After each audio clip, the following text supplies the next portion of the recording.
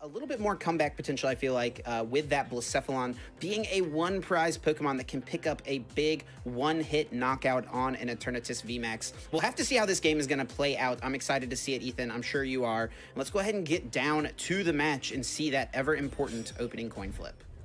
Yeah, this coin flip is going to be big. Uh, I think both players maybe want to go uh, their own way. Uh, we'll see what Azul actually decides to go. I wouldn't be surprised if we see uh, Azul opt to go second. Uh, this is one of the few matchups where Power Accelerator is very important. Uh, we talked about pressure early on being important in this matchup, especially on Azul's side. What do you think, again, this deck, so many different attackers, the Cramorant V, the Reshiram and Charizard. What do you think Azul's best way to apply pressure early on in this game is going to be?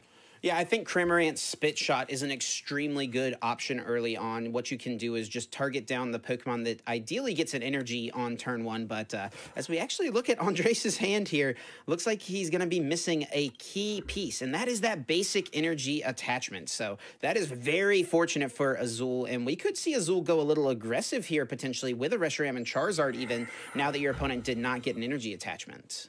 Yeah, and speak of this hand, this is not looking very good, even for the following turn. Has right. no draw supporters, no draw Pokemon. Azul being able to bump that power plant right away, playing some of those key support Pokemon GX, the Dedenne, as we talked about before, as well as the Oricorio. Gonna start things off right away by pitching a Fire Energy to the discard pile, grabbing two more out of the deck, and it looks like Azul as well does not have much. Wow. And uh, a nice top deck there for Andres is going to find that Crobat, so it can thin this hand down to uh, at least two cards. Uh, we could just see uh, take a little bit of a slower route. You may actually want to go ahead with a power accelerator, but Andres is going to uh, go in with a little bit of a different strategy here. Smart play as well. Going to discard that boss's orders off the Giant Hearth. Usually would say, hey, I don't need to utilize that stadium card. I have no fire energy in my deck, but you can still utilize it to discard a card from your hand and draw an extra card off Crobat. And as we know in the Pokemon trading card game, Chip, every card matters.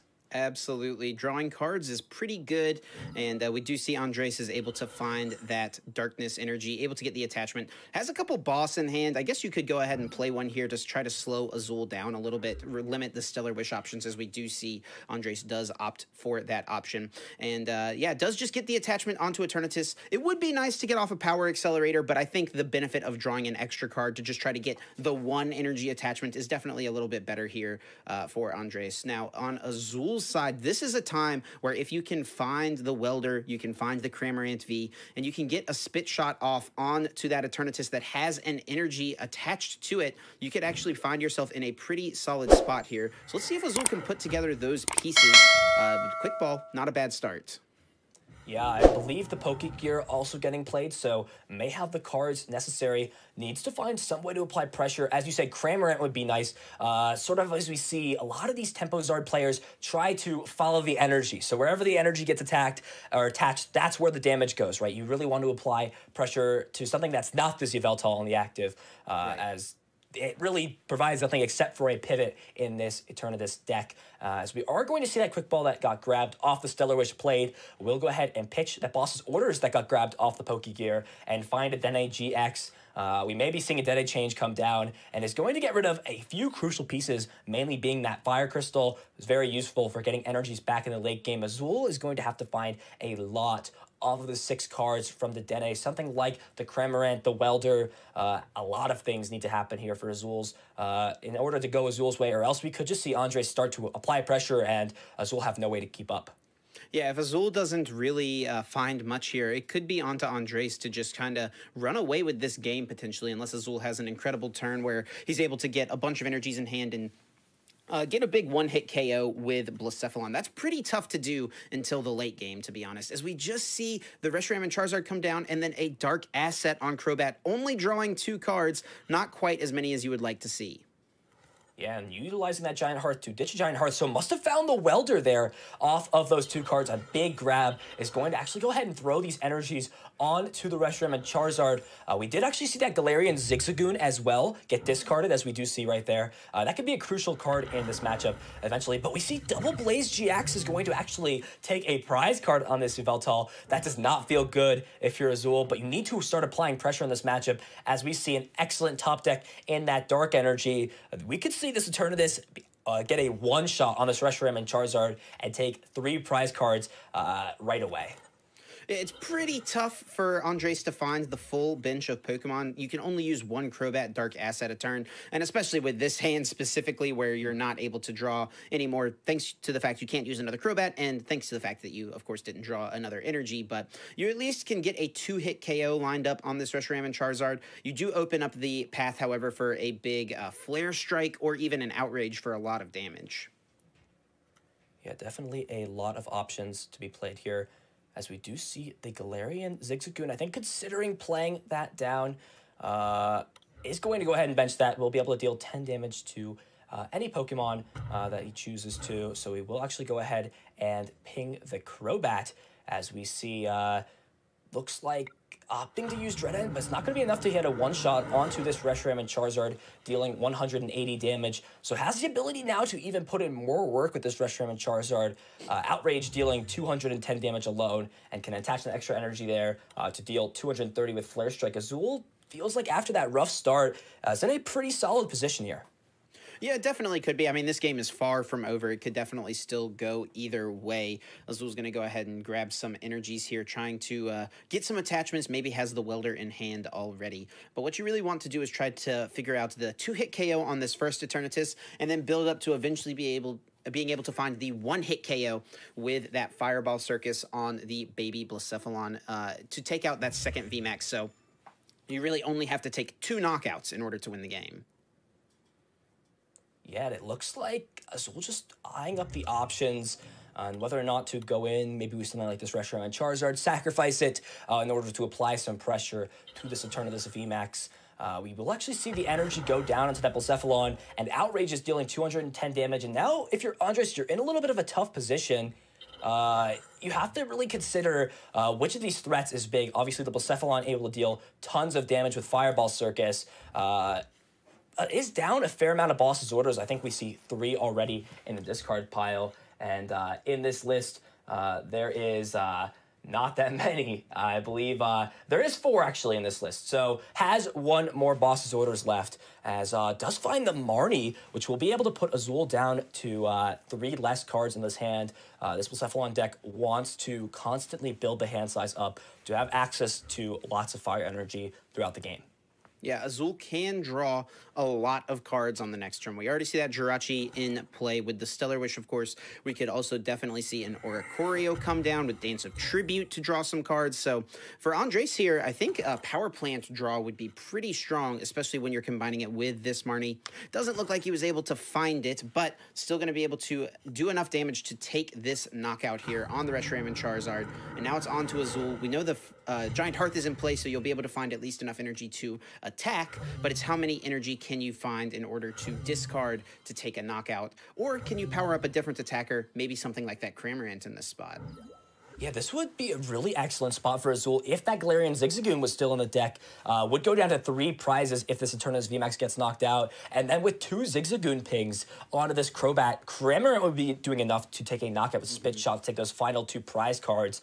So Azul is going to have to readjust the strategy a little bit as Cherish Ball is going to grab that Oricorio as you mentioned, going to allow Azul to draw three additional cards right away uh, anytime during the turn, but is going to go ahead and opt to utilize that right now. Doesn't even need to play a welder in this case, can just manually attach to this Blacephalon. So we'll just need to find one additional energy. Giant Hearth will be able to secure a minimum of two out of the deck. So this seems like Azul is in a pretty solid spot. Andres has the return knockout, uh, but this game is far from over for either of these players. This one is definitely, I think, going to come down to the wire as I think Azul just evaluating the options here on what to do. Uh, again, you really want to take prize cards here, uh, but Azul needs to make sure there is a follow-up so the second Eternatus VMAX does not just go ahead and run things over. As Giant Hearth will ditch the Jirachi, going to grab two more Fire Energy. I'm sure we're going to see one of those come down on this Blacephalon. Uh, what else gets powered up is anyone's guess at this point.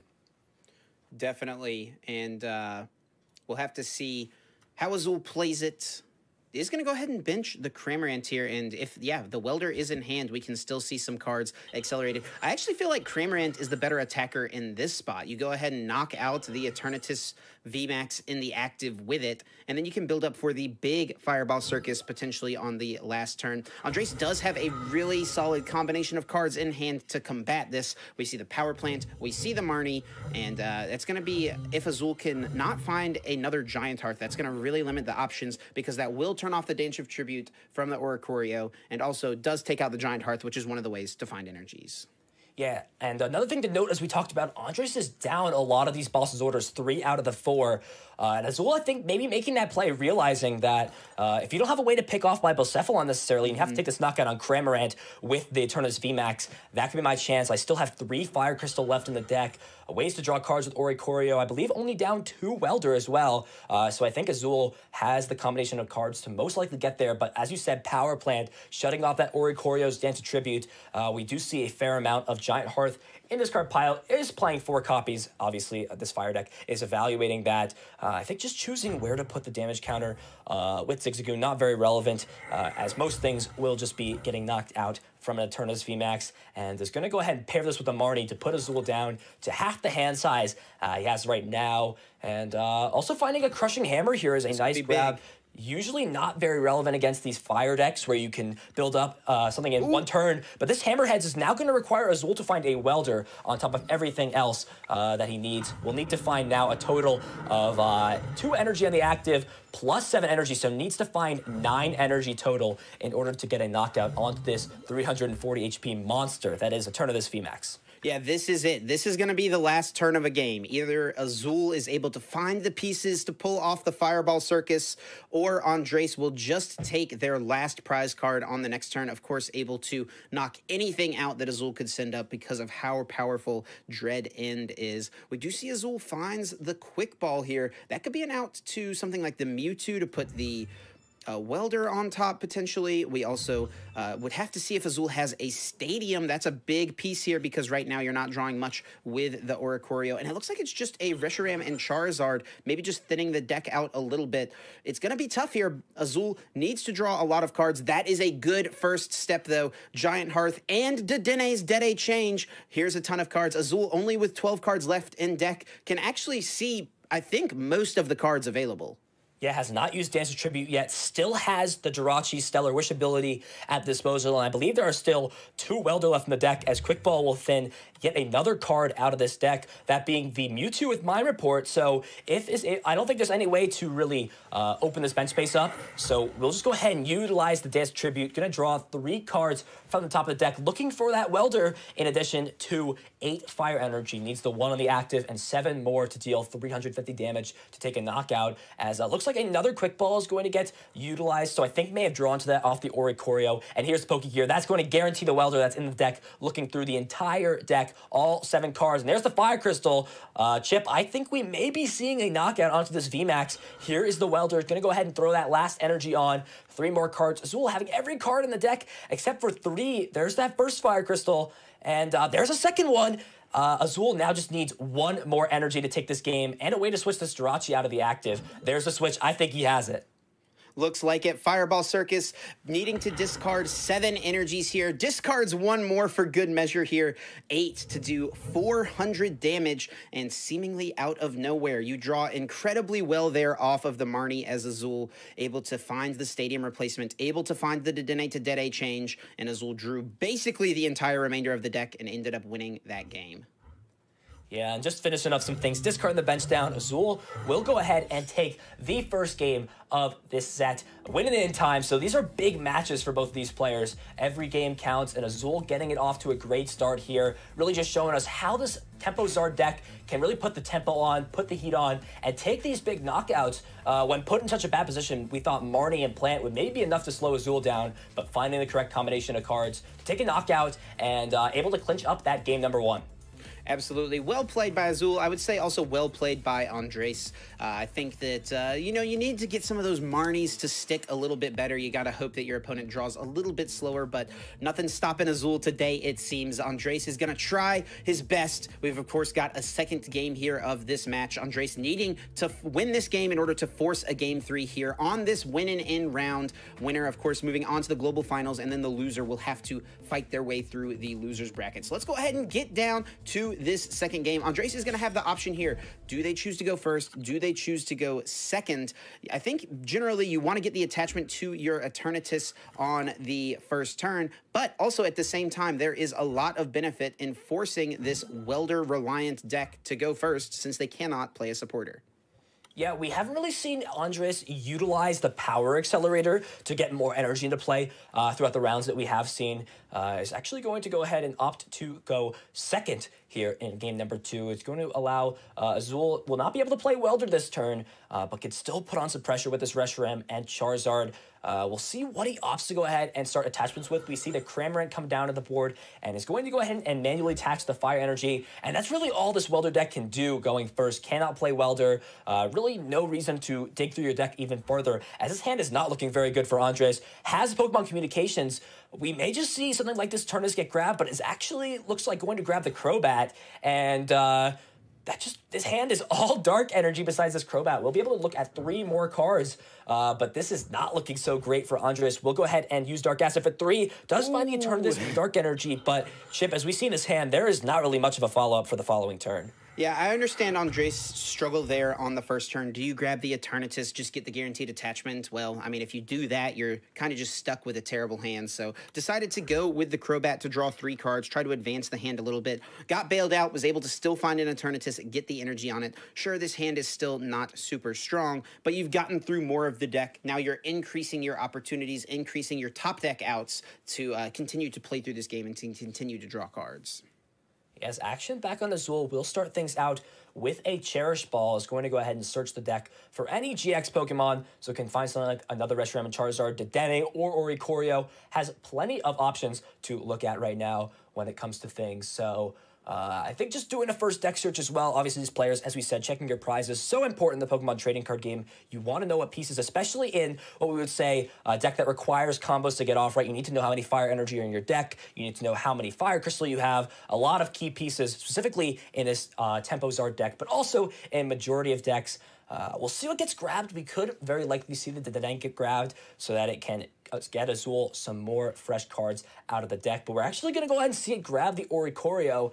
Uh, just wants to get that into play, it looks like, uh, at this point, possibly thinning it out of the deck. But we know how powerful Oricorio is in late turns of the game. Allowed Azul to find the cards necessary last game to take uh, the knockout onto that big Eternatus VMAX.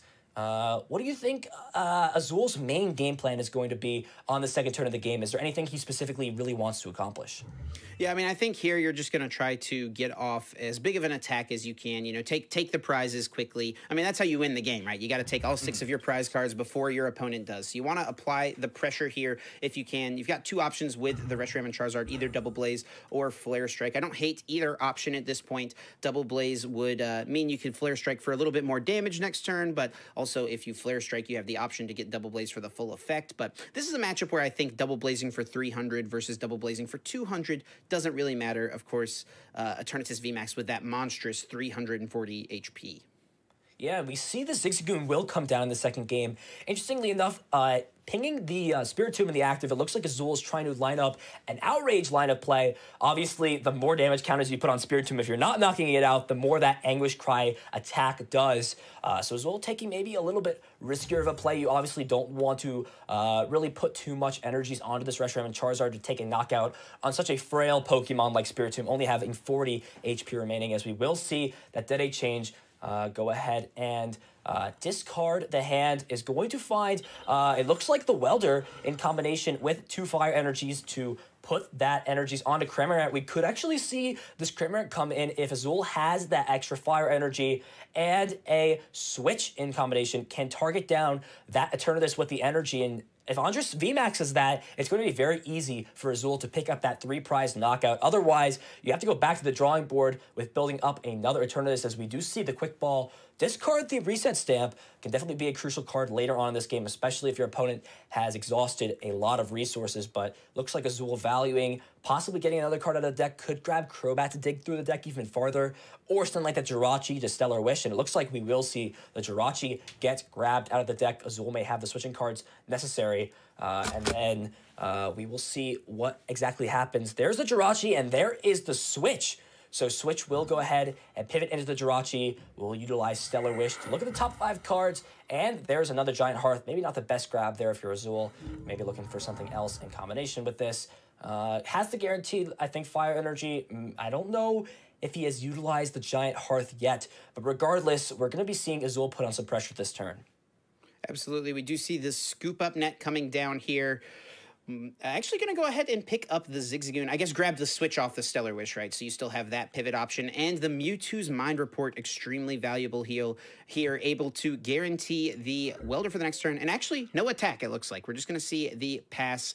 And it's going to be onto Andres, who does top deck a Crobat. Super good draw here. Now you could definitely threaten an attack on this turn. You can play out a decent of amount of this hand here. You could even play it all out if you wanted to by attaching the darkness energy and then also going for the boss's orders. You also could knock out this Jirachi here with Anguish Cry, which is, would not be terrible. Force your opponent to try to maybe deal with this Spiritomb. And uh, also a pretty good draw here. That Power Plant could limit Andres' uh, excuse me, Azul's options. An interesting choice to go ahead and play that Great Ball before the Quick Ball. Uh, and we see that could have actually been uh, punished Andres a little bit here. It's one less card in your deck that is not an Eternatus VMAX, and really wanted to find that off the Great Ball uh, to extend that bench size and open up a potential Crobat for the following turn. But we see Andres is back to just another poor hand here, has no real response, and is going to actually go ahead and bosses orders the Oricorio up. Spiritomb dealing enough damage due to that two times weakness on Oricorio to Dark type Pokemon will be able to deal 200 damage and take the knockout. Uh, but again, it really comes down to what prize card gets taken here in addition to the top deck as well. Not two great cards. Azul could have an opportunity here uh, to start applying pressure, especially uh, with an easy knockout online with that uh, Reshiram and Charizard only having to deal 30 damage, which is perfect math for that outrageous Jirachi will start things off with a Stellar Wish. Not going to grab anything. You hate to see that off of uh, the Stellar Wishes. Really, you just want to find anything, if that, to help out, especially a way to bump this power plant, uh, which we do find. There is the Giant Hearth, uh, yet another one coming down for Azul. Uh, there's multiple game plans here. Do you think we're going to see him deal with something like the Spiritomb, or is he going to target it with something like the Spit Shot on that Cramorant uh, and apply pressure to that Eternatus V? Yeah, I think I definitely would like to see the spit shot here. Go ahead and get some pressure onto that Eternatus. That's the real threat. Like, sure, Spiritomb is, you know, doing a little bit of damage here and there, but it's never going to be knocking out the Cramorant that's in the active spot.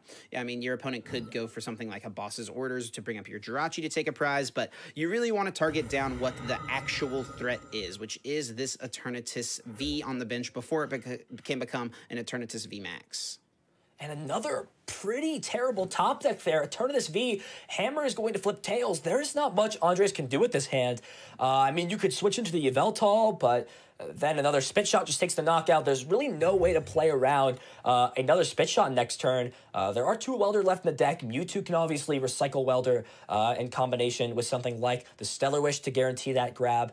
Uh, it looks like Azul has put himself in a position, uh, obviously in credit with Andres, pretty poor draws at this point, uh, where you could just get all the energy off of the main attackers on the board, only that one Eternatus, and it's actually going to go ahead and make a, a, smart play, grabbing the Crobat out of the deck with the Quick Ball, knows that that's probably going to be what gets played down next turn if either the Spiritomb gets knocked out or that Eternatus V on the bench.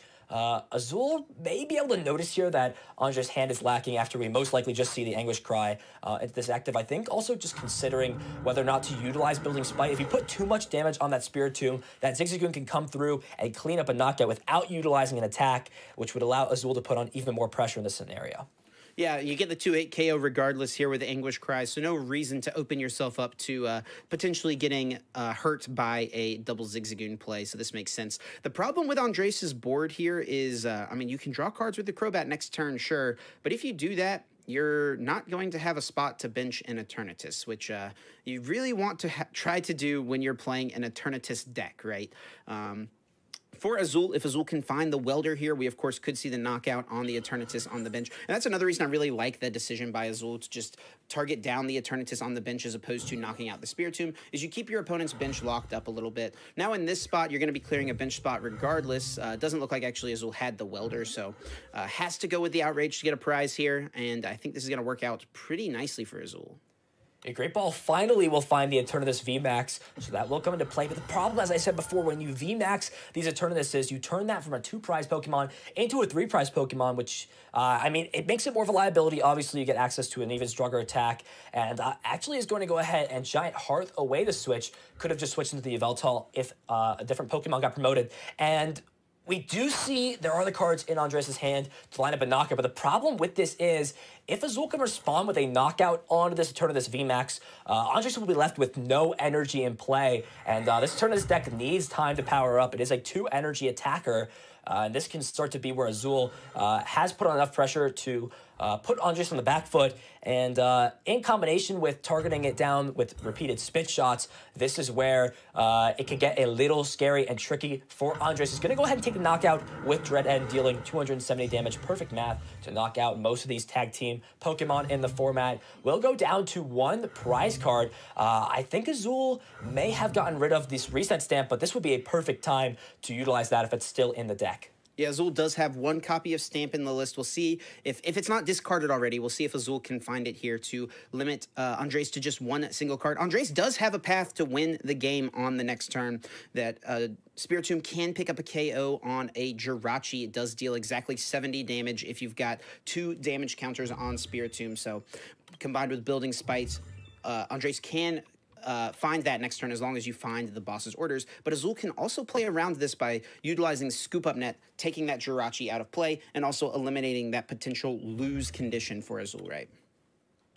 Yeah, exactly. It looks like going to start things off uh, I think just thinking through the plays is going to utilize Giant Hearth to get rid of that fire energy to get two. So nice little trade, get one for two. Uh, always great with Giant Hearth. Wants to thin out the deck a little bit more. I'm sure looking for something like the Welder, which uh, Azul does find off the Stellar Wish and has the Reshiram and Charizard, which is a perfect attacker in this situation, dealing enough damage with that Double Blaze for the first effect for 200 damage. And uh, we may just see Azul take three prize cards. And at this point, we'll actually be super close to victory. We do know Azul plays that one copy of Boss's Orders in deck, so is trying to set up the game in two turns. I think this game may come down to the next couple of turns, Chip. Uh, Andres really needs to put some pressure on, and we'll also have to limit the bench down to five Pokemon now that that Eternal Zone ability is no longer in play.